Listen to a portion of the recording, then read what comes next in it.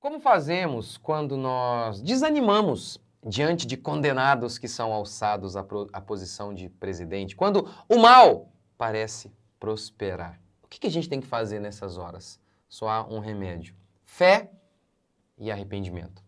Bom dia, graça e paz do nosso Senhor Jesus Cristo. Mais um dia a gente continua aqui na nossa série baseada no Salmo 73, inspirada no molusco. Gente, é, aqui obviamente eu tô, é, eu não sei o que vai acontecer, né? Já falei para vocês, espero que não Lulas não subam a rampa. Espero mesmo, de coração tô orando por isso e fazendo o que está ao meu alcance. Mas enfim, só isso, só o que aconteceu durante esses, esses anos já é uma é, é, é uma desgraça absurda. É, é um negócio assim sem precedente. Tem que ser muito imbecil para não notar que é uma quadrilha que governa o nosso país. Tem que ser muito canalha que esse partido, PT, é, é uma quadrilha. E aí a gente, um cara é condenado, é retirado da, da cadeia, porque disseram que não deveria ser julgado em Curitiba, mas em Brasília. Tá, que fosse. E aí, que dia que vai ser o julgamento dele? É, é um, ele foi, ele, deram uma entrevista, o Lula deu uma entrevista em Portugal, e aí o Lula começou assim, é, porque aquele juiz lá, o Moro, me perseguiu. Aí o entrevistador perguntou, porque ele não estava na Rede Globo, né? O Lula pensou que estava na Rede Globo. Não, foram dezenas de juízes que te condenaram. Foi, e foi unânime a sua condenação. Aí o Lula, não, eu não sei de onde você tira isso aí, como ele sempre faz. Então, é, é um absurdo. E diante desse cenário, muitas vezes as pessoas desanimam desanimam. Tem muito a ver com o Salmo 73. O salmista ele diz que quase caiu da fé ao ver a prosperidade dos ímpios, que os ímpios eles faziam tudo aquilo que eles queriam e eles se davam bem. Vocês viram aí? Soltaram ontem o pessoal do STF dançando no Copacabana, Palace, fazendo festinha. É isso que o salmista via e ficava indignado. Ele falava, ele, ele quase caiu da fé quase caiu da fé ao ver a prosperidade dos maus. E ele diz que ele muda. Quando? Verso 17, mais uma vez. Até que entrei no santuário de Deus. Então compreendi o destino deles, o final deles. E aí, aqui no Salmo 73, o salmista, ele, ele se descreve com os adjetivos mais negativos. Invejoso, embrutecido, ignorante e irracional. Ele fala isso várias vezes. Deixa eu ver se eu acho aqui algumas vezes aqui. Quando estava com o coração amargurado, é, verso 22, estava embrutecido e ignorante, era como um animal. O silêncio é de propósito. Ele está dizendo que quando ele via o molusco, digo, os desonestos de seus dias, achando que eles estavam bem, prosperando, ele está dizendo: eu agia como irracional quando ele olhava os homens maus prosperando e dizendo, e ele dizia para si mesmo: Deus, acho que não é justo, Deus esqueceu de nós.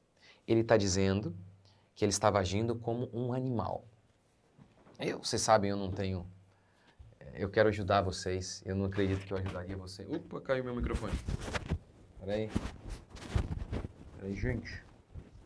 Só um minutinho, ó. Uh.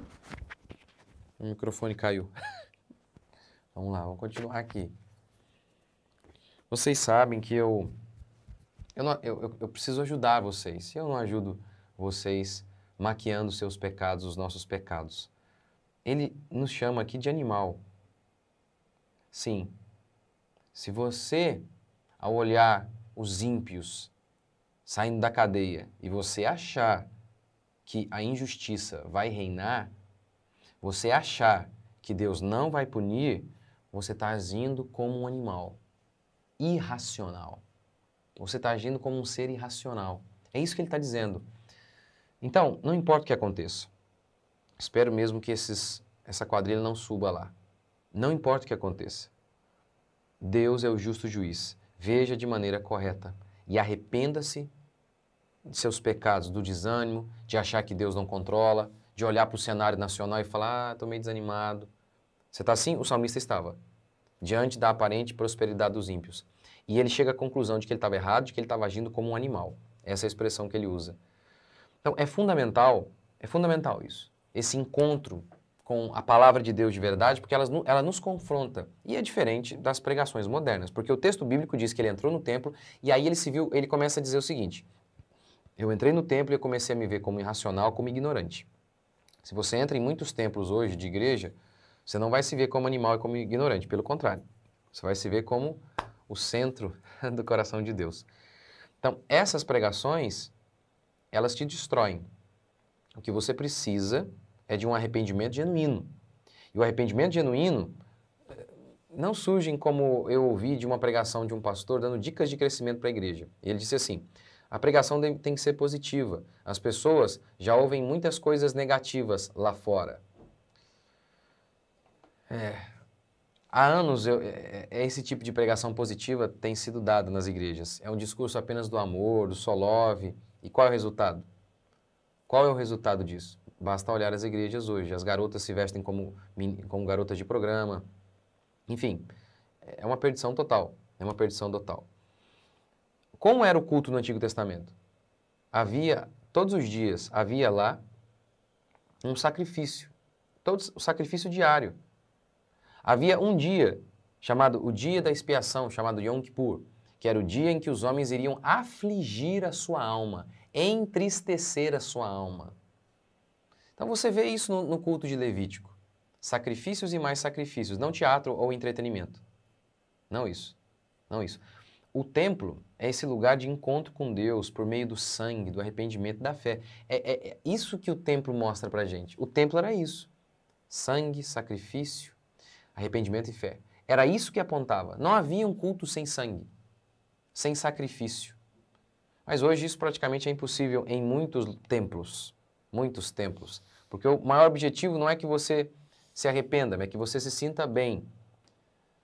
O engraçado aqui dessa história é que antes, quando ele achava que ele era bom, porque é isso que acontece, ele, ele se achava bom, ele fala, ah, eu, eu tenho sido bom e não tenho colhido nada. Nesse momento, ele está amargurado. Mas a partir do verso 17, que ele vai ao templo, ele se vê como pecador, ele começa a se ver como maligno e ele começa a ter paz. Que coisa engraçada. A estrada que o levou à segurança, a certeza e o consolo foram a fé e o arrependimento. Arrependei-vos para que vos sobrevenha tempos de refrigério. Que coisa! O apóstolo disse isso lá em Atos. Arrependei-vos para que vos venham tempos de refrigério. A oração dele aqui não é vaga. Ah, eu sou pecador. Não, ele diz assim: eu fiquei com inveja. Eu tive inveja.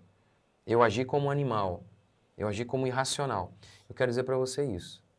O que você precisa ouvir é uma pregação verdadeira que te leve a esse mesmo estágio em que o salmista ficou, de se ver como um animal. Você já, você, você, vamos falar a verdade. Em muitos cultos, você se entra, você, você entra num culto. É, você está lá sensual, com a roupa indecente, adulterando, mentindo. Você entra mal. E você sai bem. Não é? Mas como assim bem? Se você saísse bem porque é, esse bem é oriundo de um arrependimento, mas não é. As pessoas entram meio chateadinhas, ouvem uma palavra que massageia o seu ego e elas saem dali arrependidas? Não. Não saem arrependidas. Continuam sensuais, imorais, avarentas. Mas elas apenas saem se sentindo bem. Não foi isso que aconteceu aqui. Ele primeiro tem um confronto consigo. Ele se arrepende de seus pecados e aí ele tem paz. A paz genuína brota da fé e do arrependimento. A paz genuína brota desse arrependimento. Não tem muito a ver com essas mensagens de hoje que nunca tocam no arrependimento, que nunca nos chamam ao arrependimento. Então é isso que você precisa. Reconhecer os seus pecados, ter um confronto, porque a verdadeira palavra, pregação do Evangelho, ela, ela é assim, ela é confrontativa. Foi, assim, foi isso que aconteceu com o salmista no Salmo 73. Então vamos lá. Se você, nestes dias, foi tentado ao desânimo ou caiu no desânimo, você precisa se lembrar do que o salmista está dizendo aqui. Eu agia como animal. Ficar triste, eu fiquei. Ficar triste diante de saber que um bandido foi alçado à posição de presidente é normal. Mas dizer, ah, agora não sei como é que tá. Ah, meu Deus, e agora? Ai, ai, ai, o medo tomando conta. Não, isso não. Isso não. Isso não. Arrependa-se e lembre-se: nenhuma bala que foi roubada será deixada para trás. Deus é o justo juiz. Ele entrou no templo e viu o fim deles. Veja o fim dos homens maus e veja o fim dos homens bons. Os homens bons serão recompensados e os homens maus serão punidos, todos eles, sem exceção. Vamos orar? Senhor Deus e Pai, te agradecemos por mais um dia, bendizemos o teu santo nome, louvamos o Senhor por tudo que o Senhor tem feito e ainda vai fazer nas nossas vidas. Te agradecemos, Pai, porque o Senhor é conosco. Oramos, Pai, pelo nosso país, oramos que a tua vontade seja feita. Oramos, Pai, que esses dias sirvam para levar a sua igreja ao arrependimento, ao genuíno arrependimento. Que muitas pessoas possam se converter genuinamente nestes dias. E, Pai, que a tua vontade seja feita. E que nós possamos caminhar em arrependimento e fé dia a dia, sem nunca desanimar, na certeza plena de que o Senhor governa o mundo. Nós descansamos em Ti, Pai. Pedimos que o Senhor nos abençoe mais um dia, nos fortaleça em mais um dia em nome de Jesus. Amém? E, gente, aproveitem as promoções da Black Friday. Meus cursos estão com o menor preço do ano. Aproveitem. A gente vai deixar aqui o link para vocês na descrição. Deus abençoe. Até amanhã. Ou oh, até hoje à noite. Tem vídeo aí.